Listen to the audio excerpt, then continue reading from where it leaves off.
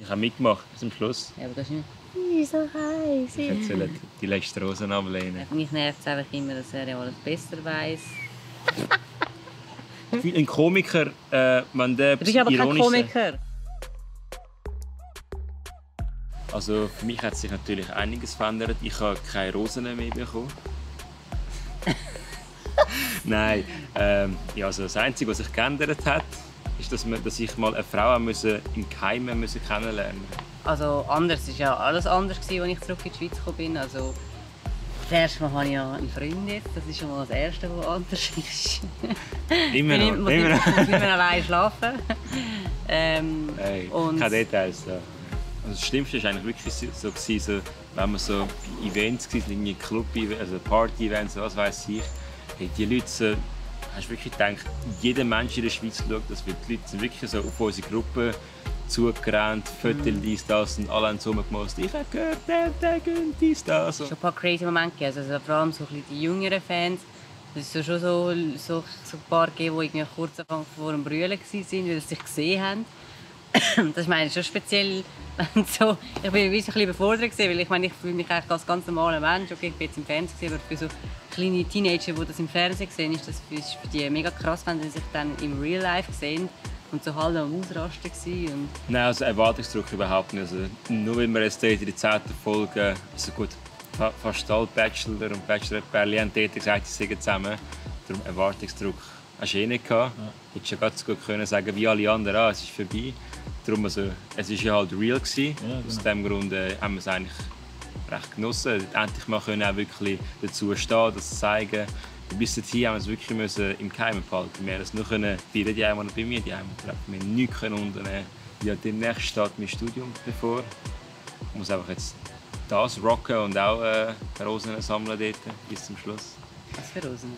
Also, meine, meine Credits sind dann dort Rosen, Credit Points. Rosen Genau. sammeln, genau. Ja, ich meine, für mich wird sich jetzt auch einiges, einiges ändern, weil der, eben der Kenny fängt an studieren und das, äh, mal schauen, wie wir das genau handeln und alles. Und ich werde auch so weitermachen, wie ich zuvor weitergemacht habe.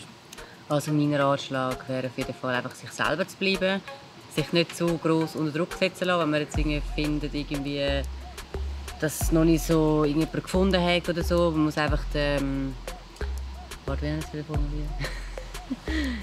Ja, man muss einfach sich auf jede Person einladen, egal ob man jetzt vielleicht am ersten Moment denkt, ja, die passt nicht oder so, aber ich finde, das ist eine super Chance, um einfach mal so ein Persönlichkeiten kennenzulernen und vielleicht wird sich das nie so ändern und auf einmal findet man jemanden mega cool, wo man vielleicht optisch gar nicht irgendwie echt der Fall wäre und es wäre einfach mein Tipp, sich dort nicht stressen lassen und wirklich auf jeden eingehen und jeden kennenlernen und dann wird das gut kommen. Also ich sage einfach, schaut, dass ihr euch einfach nicht zu dumm anstellt, weil äh, irgendeine dumme Frau will auch keinen Typ an seiner Seite.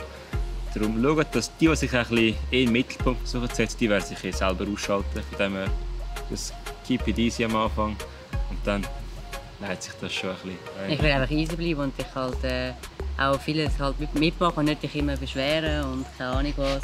Das hilft einmal noch. Ja. Ich meine, die sind. Nicht so wie du heute. Ich habe mitgemacht bis zum Schluss. Ja, aber das ist nicht... Wieso heiß? Wieso Ja. heiß? Siehst du meinen fucking Sonnenbrand da? Ja, ich bin auch dort gestanden, wo du gestanden Ja, aber ich bin auch viel empfindlicher auf Hitze. bist. Ja, du bist einfach empfindlicher allgemein. Ja genau, darum renne ich von Insekten davon, als, als wäre es ein fucking fliegender eine Gorilla, der auf mich... Ja, ich habe auch vielleicht die Sonne vorbei. So nicht gut. Ich, Okay. Ja, ich erzähle die letzten Rosen ablehnen. Nächstes Genau, das ja, haben wir ja. eindeutig müssen wir nächstes Mal ändern. Ja.